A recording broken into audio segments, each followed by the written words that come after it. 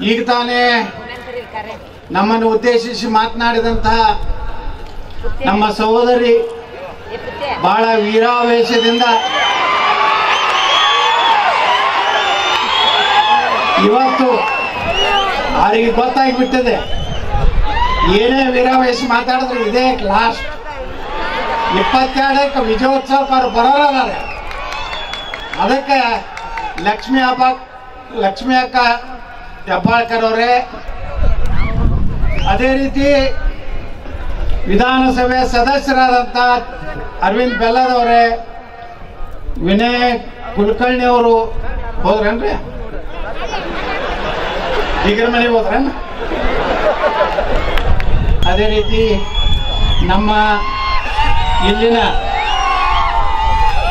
ಹಿರಿಯರಾದಂಥ ಶ್ರೀ ವಿರೂಪಾಕ್ಷಪ್ಪ ಮಾಮ್ನಿ ಅವರೇ ಬಸವರಾಜ್ ಕಾರದಗಿ ಅವರೇ ರಾಜಶೇಖರ್ ಕಾರದಗಿ ಅವರೇ ಸುರೇಶ್ ಗೌಡ ಬಡಗಿಗೌಡ್ರೆ, ಅಲ್ಲಂ ಪ್ರಭು ಈಗಾಗಲೇ ಅವ್ರ ಬಗ್ಗೆ ಹೇಳಿದ್ದಾರೆ. ನಮ್ಮ ಪಂಚನಗೌಡ್ರೆ, ಮಲ್ಲಿಕಾರ್ಜುನ್ ಬೇವೂರವರೇ, ಉಪ್ಪಿನವರೇ ವಿನಯ್ ಕುಮಾರ್ ದೇಸಾಯಿ ಅವರೇ ಲಿಸ್ಟ್ ಭಾಳ ಕೊಟ್ಟಾರ. ಎಲ್ಲ ವೇದಿಕೆ ಮೇಲೆ ಉಪಸ್ಥಿತಿರುವಂಥ ಎಲ್ಲ ಗಣ್ಯರೇ, ಫ್ಲೆಕ್ಸ್ ಬೋರ್ಡ್ದಲ್ಲಿ ರಾಜಾ ರಾಜಾರಜಿ ಸೂಕ್ತಿರುವಂಥ ಎಲ್ಲ ಚುನಾವಣೆ ಅಭ್ಯರ್ಥಿ ಅಕ್ಷಾಂಶಿಗಳೇ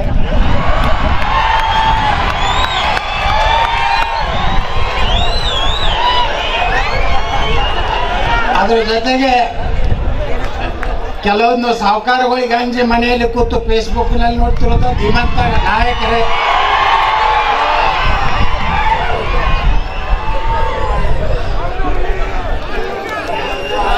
ಇಲ್ಲಿ ಎಲ್ಲರಿಗೂ ಯಾರಿಗೂ ಅನ್ಸಲಾರ್ದನೆ ಇಲ್ಲಿ ಬಂದು ಕೊತ್ತಂತ ಎಲ್ಲ ಶಿವ ಶಿವೇಣಿಯರೇ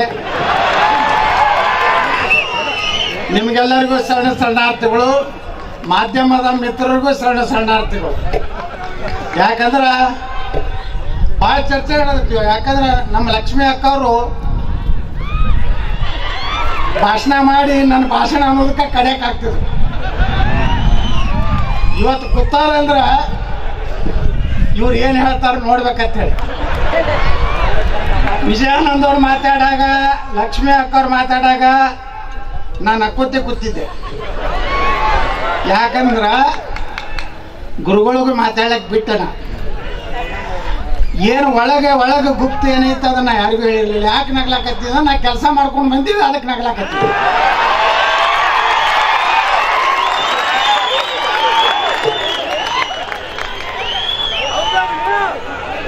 ಹಂಗೆ ಹೋಗೋ ಮಕ್ಕಳು ನಾವು ಅಲ್ಲ.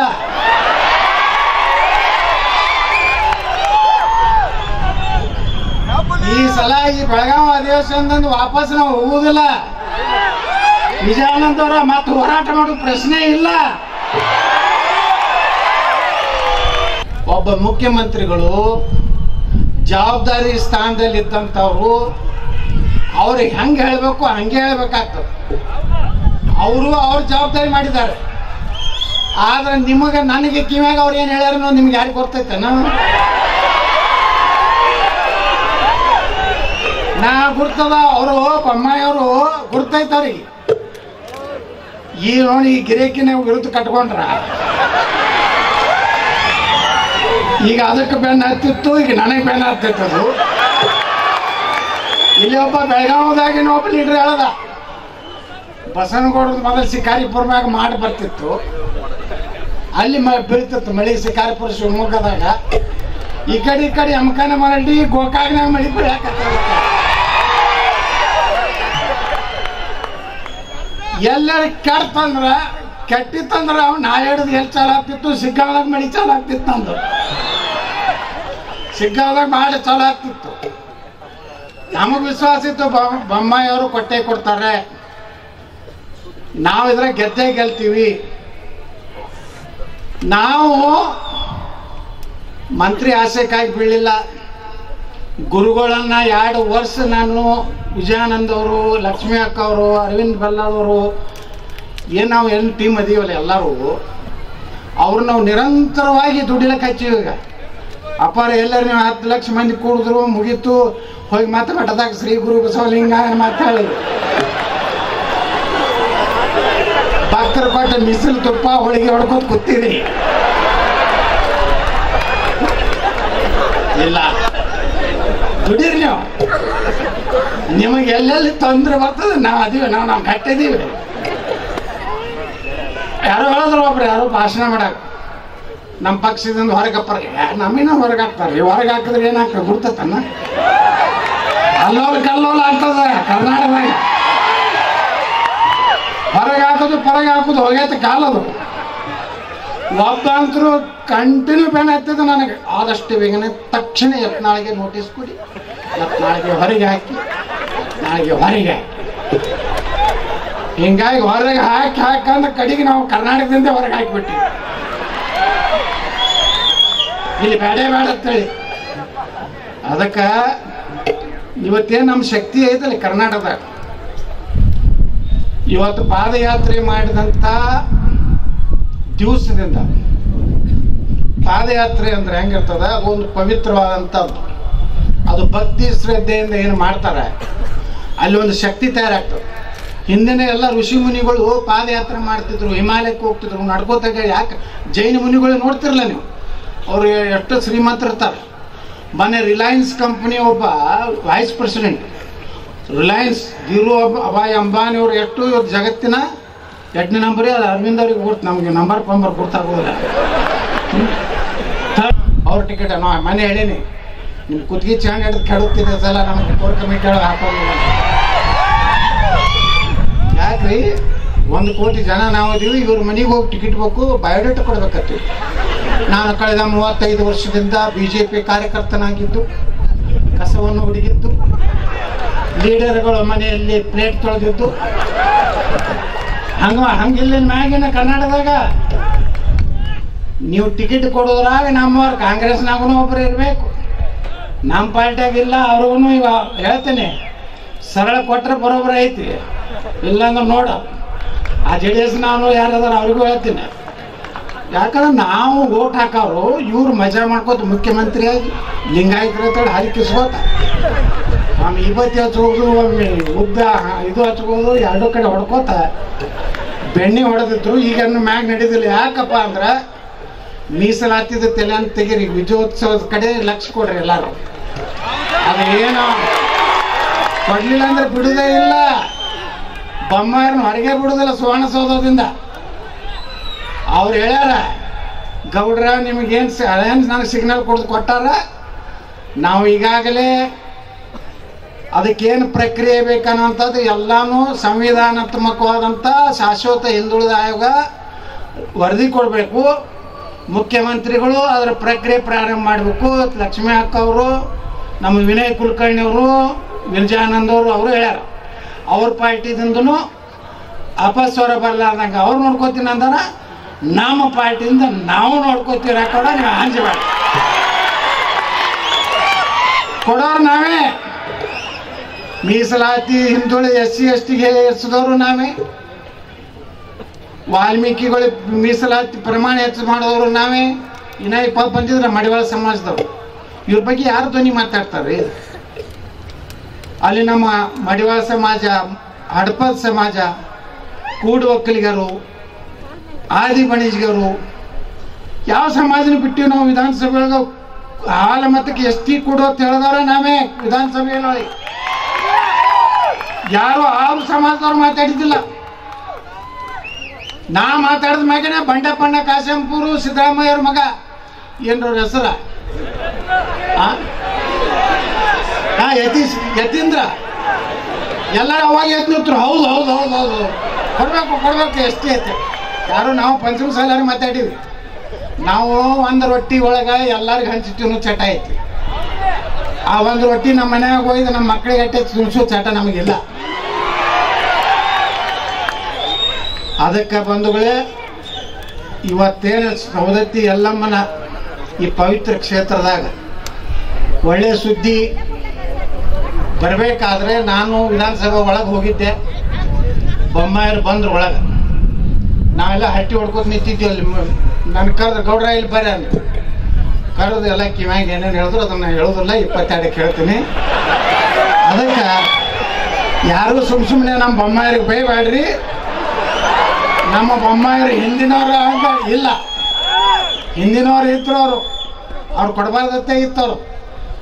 ಅವ್ರು ನಮ್ಮ ಸಮಾಜ ಅಂದ್ರೆ ಸುಮ್ಮ ಒಂದು ಯಾವ್ದಾರು ಮಂತ್ರಿ ಮಾಡೋದು ಒಂದು ಸಕ್ರೆ ಪ್ರಕ್ರಿಯೆ ಅಂತ ಮಂತ್ರಿ ಮಾಡಿ ಆ ಸುಮ್ಮ ಅದು ಹೊಗಳ್ಕೋತ ಅಡ್ಡಾಡ್ಸೋತ ಹೋಗ್ತಿದ್ರು ನಮ್ಮ ಮುಖ್ಯಮಂತ್ರಿಗಳು ಹಂಗ, ಇಂದ್ರ, ಚಂದ್ರ, ಹಂಗದಾರ, ರೈತ ಹೋರಾಟಗಾರರು ಸುಡಗಾಡದಾರ, ಅದೇನು. ಎಲ್ಲ ಹೇಳ್ತಿದ್ವಿ ಈಗೇನಿಲ್ಲ. ಬೊಮ್ಮಾರಿ ಕೊಟ್ಟು ಕೊಡ್ತಾರ, ನಾವು ತಗೋತೀವಿ. ಮುಂದಿನ ಭವಿಷ್ಯ ನಮ್ಮ ಸಮಾಜದ್ದು ಒಳ್ಳೇದಾಗುತ್ತದ. ಇವತ್ತು ಹೇಳಿದ್ರು, ಇಲ್ಲಿ ಯಾರೋ ಒಬ್ಬರು ನಮ್ಮ ಮಾಮನಿಯವರು ಒಂದು ಎಕರೆ ಹಾಸ್ಟೆಲ್ ಕಟ್ಟಲಿಕ್ಕೆ ಒಂದು ಎಕರೆ ದಾನ ಮಾಡ್ತೀನಿ ಅಂದ್ರೆ. ಇನ್ನೊಬ್ರು ಯಾರು ಇನ್ನು ಒಳಗೆ ಬಂಗಾರಪ್ಪ? ಏನ್ರಿ ಅರ್ಧ ಎಕರೆ ಅವರು ಎಡಗಟ್ಟೆ ಕೊಡ್ತೀರಂದ್ರೆ ಮೊನ್ನೆ ನಾವು ಗಜೇಂದ್ರಗಡದಾಗ ನಮ್ಮ ಕುಡಲ ಸಂಗಮ ಸ್ವಾಮಿಗಳದು ಒಂದಿಟ್ಟು ನಮ್ಮಲ್ಲ ಪುಟ್ರು ಹೋದಾರ ಪಂಚಮಸಾಲರಿಗೂ ಅವ್ರ ಆಸ್ತಿ ಬೇರೆಯವ್ರು ಮಾಡ್ಕೊಂಡಾರ್ರಿ. ಇವ್ರು ಶಿವ ಬಸವ, ಗುರು ಬಸವ ಅಂತ ಇವ್ರು ಕೂತರು. ಚಂದ ಮ್ಯಾಗ ಪಂಕ ಇಲ್ಲ.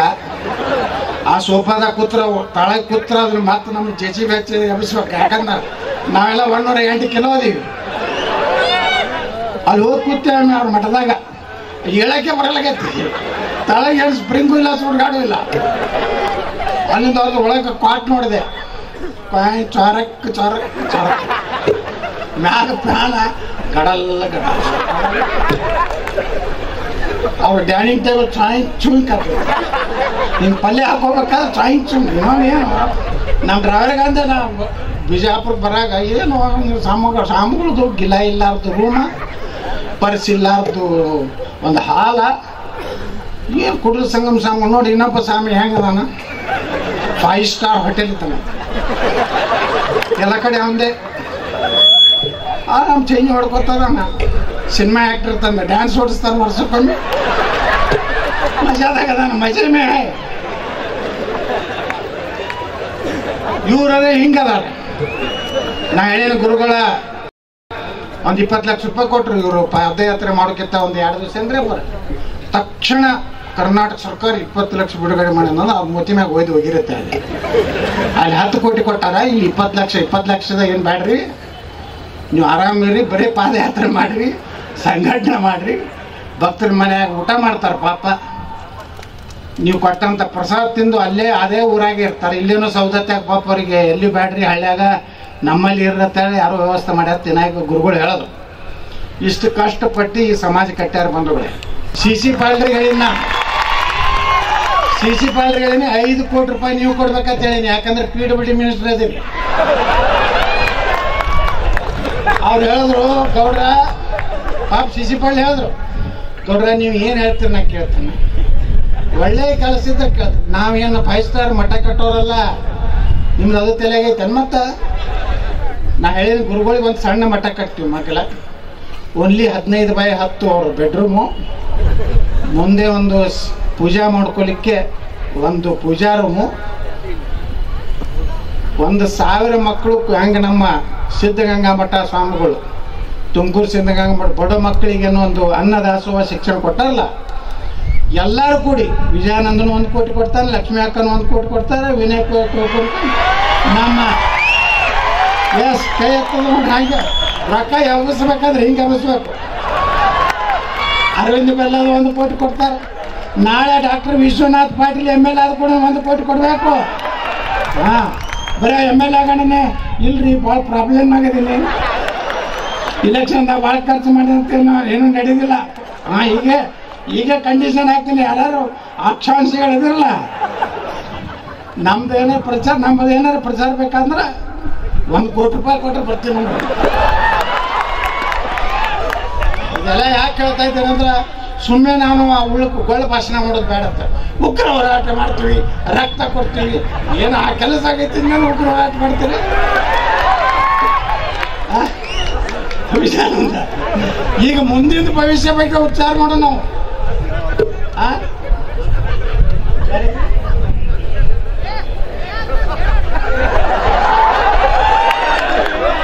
ಲಕ್ಷ್ಮಿ ಅಕ್ಕ ಲಕ್ಷ್ಮಿ ಅಕ್ಕ ಒಂದೊಂದು ಫ್ಯಾಕ್ಟ್ರಿ ಒಂದೊಂದು ಕೋಟಿ.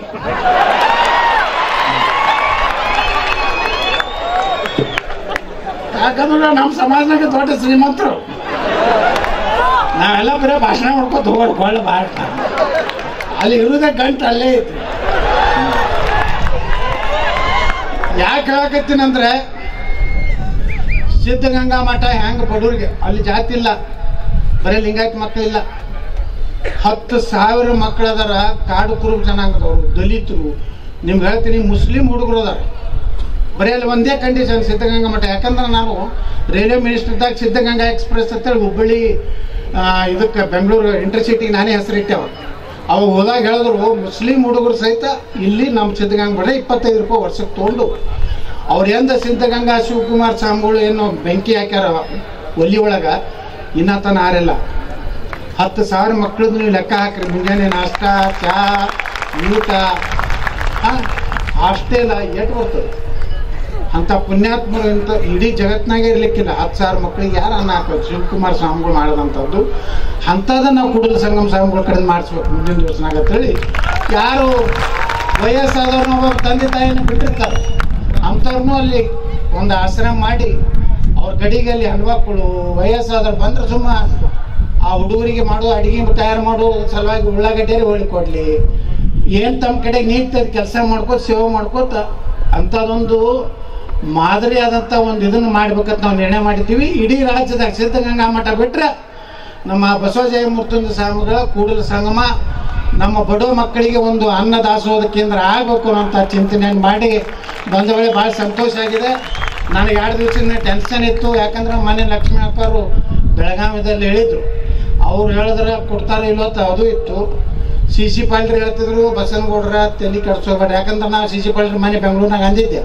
ಭಾಳ ನಕ್ಕೋತ್ ಮಂದಿರಿ, ಯಾಕೋ ಸಿ ಸಿ ಪಾಲ್ಟ್ರ್ ಏನೋ ಕೆಲಸ ಆಗೈತಿ ಸುಮ್ಕೊಂಡ್ರಿ ಬರೋಬ್ಬರಿ ಆಗ್ತಿತ್ತು ಇವತ್ತು ಮುಂಜಾನೆ ಆರಕ್ಕೆ ಫೋನ್ ಮಾಡಿದ್ರು. ಗೌಡ್ರ, ಎಲ್ಲ ಬರೋಬ್ಬರಿ ಐತಿ, ಎಲ್ಲ ಹಂಡ್ರೆಡ್ ಪರ್ಸೆಂಟ್ ರೈಟ್ ಅಂದರು. ನಾವು ರೈಟ್ ಅಂದೀವಿ. ಎಲ್ಲ ಸಂತೋಷದಿಂದ, ಸವದತ್ತಿ ಎಲ್ಲ ಒಂದು ದರ್ಶನ ತೊಗೊಂಡು ಎಲ್ಲರೂ ಹೋಗೋಣ. ಪಾದಯಾತ್ರೆದಾಗ ಎಲ್ಲೇ ಇಲ್ಲೇ ಹೋಗಿ ಮಕ್ಕೊಂಡ್ರಿ ಮತ್ತೆ.